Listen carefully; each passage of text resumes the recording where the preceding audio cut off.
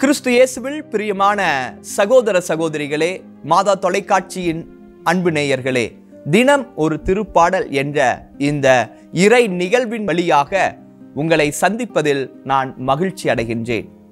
இன்றைய திருப்பாடல் வரிகள் திருப்பாடல் முப்பத்தி நான்கிலிருந்து எடுக்கப்பட்டிருக்கின்றன. நீதிமான்களை இறைவன் அனைத்து இன்னல்கள் என்றும் விடுவிக்கின்றார் என்று வெளிப்படுத்தப்பட்ட வார்த்தைகளை நம் வாழ்க்கைக்குள் எடுத்து சென்று சிந்தித்து வாழ்வாக்க அழைப்பு விடுக்கின்றேன்.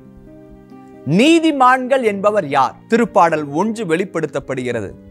ஆண்டவரின் திருச்சட்டத்தில் மகிழ்ச்சியுறுபவர் இரவும் பகலும் சிந்திப்பவர் ஆண்டவருடைய நற்பயிற்சியை தன் வாழ்க்கையில் கடைபிடிப்பவர். அவர்தான் நீதிமான். எனவே நீதிமான்கள் கேட்கும் பொழுது ஆண்டவர் தகுந்த வேளையில் பதில் கொடுக்கின்றார். இதை ஆண்டவருடைய வல்லமை நிறைந்த வார்த்தைகளின் வழியாக உணர்ந்து கொள்ள முடியும். எனவே நீதிமான்கள் என்பவர்கள் ஆண்டவருடைய வார்த்தையை ஒவ்வொரு நாளும் ஆவியின் துணையோடு படித்து வாழ்வாக்கும் பொழுது ஒவ்வொருவரும் நீதிமான்களாக நாம் மாறுகின்றோம். இந்த நீதிமான்கள் எப்படிப்பட்ட துன்பங்களை சந்தித்தாலும் ஆண்டவர் அவர்களுக்கு பதில் கொடுப்பார் விடுதலை கொடுப்பார் மீட்பை கொடுப்பார் என்பதுதான் இந்த திருப்பாடலினுடைய மைய கருத்தாக இருக்கிறது. எனவே இந்த திருப்பாடலினுடைய மைய கருத்தாக கடவுளின் கருணையை புகழ்தல் என்று இதனுடைய தலைப்பு அமைகிறது. யோபு அனைத்தையும் கடவுளிடமிருந்து பெற்றுக்கொண்டார். நன்மையை நான் கடவுளிடமிருந்து பெற்றுக்கொள்கிறேன். ஏன் தீமையை பெற்றுக்கொள்ளக்கூடாது? எனவே என் வார்த்தையிலே ஆண்டவருக்கு எதிராக நான் பேச மாட்டேன் என்று உறுதியாக இருந்தார். எனவே அந்த யோபு இறுதியிலே ஆண்டவருடைய மகிமையினால் விடுவிக்கப்பட்டார். இழந்ததை இரட்டிப்பான நன்மைகளால் பெற்றுக்கொண்டார். அதே போல இதோ இறைவனுடைய நன்மைத்தனத்தை உணர்ந்து பழைய ஏற்பாட்டினுடைய அந்த நிலையிலே மக்கபேயர் எழுதிய முதல் திருமுகம் மூன்றாம் அதிகாரம் நாற்பத்தி எட்டாவது வசனத்திலே இதோ அந்த மக்கபே யூதா என்று அந்த மத்தத்தியாவினுடைய மகன் சொன்ன வார்த்தை நாம் நினைவுக்கு கொண்டு வருவோம். நீதிமான்களை எவ்வாறு அவர் விடுவிக்கிறார் என்றால் ஆண்டவர் எப்படிப்பட்டவர் என்பதை அவர் அந்த வார்த்தையில் அவர் வெளிப்படுத்துவார். இதோ பலரால் சிலர் காக்கப்படுவதும் சிலரால் பலர் காக்கப்படுவதும் எவ்வொரு வேற்றுமையும் வெளிப்படுத்துவதில்லை. மாறாக இதோ போரில் வெற்றி என்பது எண்ணிக்கையை பொறுத்ததல்ல மாறாக கடவுளின் வலிமையை பொறுத்ததே என்பதை அவர் வெளிப்படுத்துகின்றார். எனவே அந்த மக்கள் பல்வேறு விதமான துன்பங்களுக்கு உட்பட்டாலும் யூதா என்ற அந்த நீதிமானால் அந்த இஸ்ரவேல் மக்களிடம் பாதுகாக்கப்பட்டது அவர்கள் நாட்டை பாதுகாத்தார்கள். பிரியமானவர்களே இதோ பல்வேறு விதமான இன்னலிலிருந்தும் ஆண்டவர் நம்மை விடுவிக்கிறார் என்றால் இதோ நீதிமானாக நாம் இருக்க வேண்டும். அந்த நீதிமான்களை எப்பொழுதெல்லாம் ஆண்டவர் வெளிப்படுத்துகிறாரோ அப்பொழுது அவர்களுடைய வார்த்தைகளுக்கு ஆண்டவர் செவி கொடுக்கிறார் என்பதை நாம் உணர்ந்து கொள்ள வேண்டும். இன்று நீங்களும் நானும் எப்படி நீதிமானாக இருக்க முடியும்? புனித பவுலடியார் நமக்கு ஒரு முன்மாதிரி.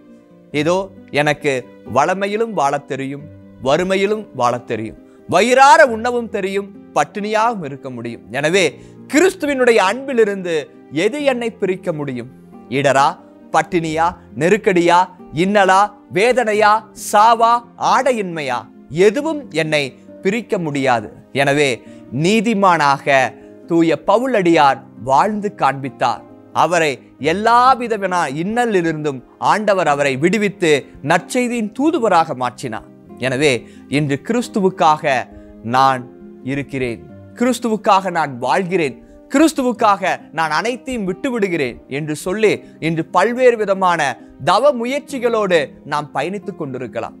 ஆண்டவர் இந்த நாளில் நம்மிடம் எதிர்பார்ப்பது அவர் நம்மிடம் விரும்புவது உள்ளத்து தூய்மையே. எனவே அந்த உள்ளத்து தூய்மையை எவ்வாறு நாம் பெற்றுக்கொள்ள முடியும் என்றால் ஆண்டவுடைய வார்த்தையை நமது வாழ்க்கையாக மாற்றும் பொழுது கடவுளே உமது வாக்கை என் இதயத்தில் நிறுத்தியுள்ளேன் எனவே நான் பாவம் செய்யேன் என்ற வார்த்தைகளின்படியாக நீதிமான்களா நீங்களும் நானும் மாற முடியும். எனவே இந்த திருப்பாடல் கடவுளுடைய கருணையை புகழ்வதாக இருந்தது என்றால் கண்டிப்பாக நீதிமான்களுக்கு துன்பம் உண்டு துயரம் உண்டு வேதனை உண்டு சோதனைகள் உண்டு ஆனால் ஆண்டவர் அவர்களோடு இருக்கிறார் என்பதை உணர்ந்து கொள்ள வேண்டும்.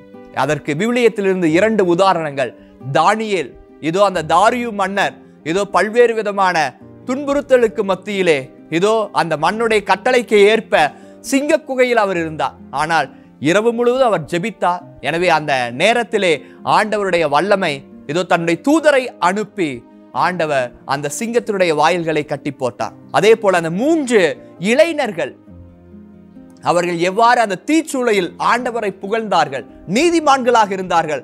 எரியும் தீச்சூளையில் இருந்து ஆண்டவர் அவர்களை மீட்டெடுத்தார். சூசன்னா பாவம் செய்யாதவர் நீதிமானாக இருந்தார். எனவே கூக்குரலிட்டார் ஆண்டவரை நோக்கி தன்னுடைய வாழ்க்கையை ஒப்புக் கொடுத்தார்.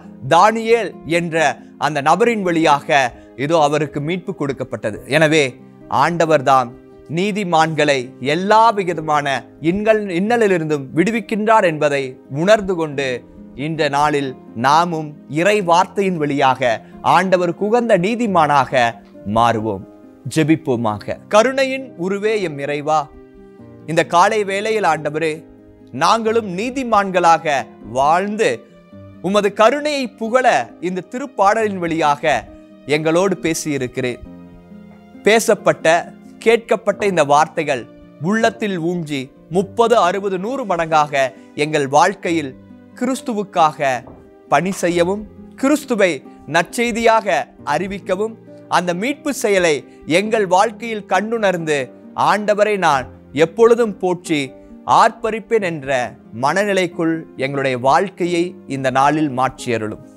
இந்த மன்றாட்டுக்களை எங்கள் ஆண்டவராகிய கிறிஸ்து வழியாக உமை மன்றாடுகின்றோம். Amen.